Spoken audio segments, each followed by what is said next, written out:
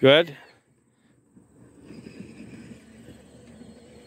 Good, good. Keep working it. Back and forth. Hit it with the inside of your foot. Good. Okay, because good. Good. Now slowly move. Yeah, try to kick it from a little. Kick it from there now. A little further out.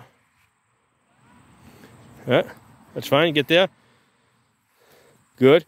Because when you, when you can hit the cone, whenever you want to hit it, then it'll be easy for you to hit the the goal over there. So what we're doing is you're practicing your aiming now. There you go. You can see how you can easily bring it in over there because that's bigger. That's why you practice on this because this is smaller.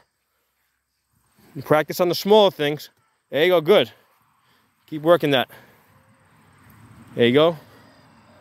Keep. There you go. Now get it. There you go. Good. All right.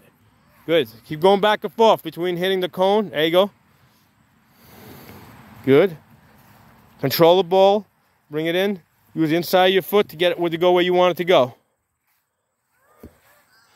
Good. There you go. There you go. On, practice hitting the cone. The cone is harder because it's smaller. Good. Good. There you go. Good.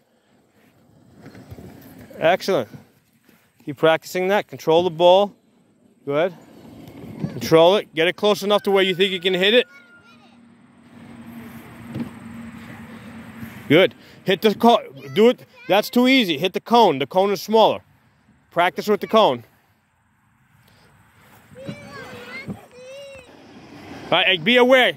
Go ahead. Do what you're doing, but also see what who's around you. All right, go ahead. Good. Go ahead. Control it. Good. Excellent. Keep going. Keep keep moving around that that that that thing, and and keep an eye on who's around you. There you go. Keep working. Right.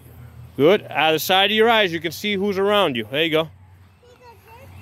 Yeah. Go ahead. Go ahead. Get that close. Good. Excellent. Very good, Dimitri. You're doing very good.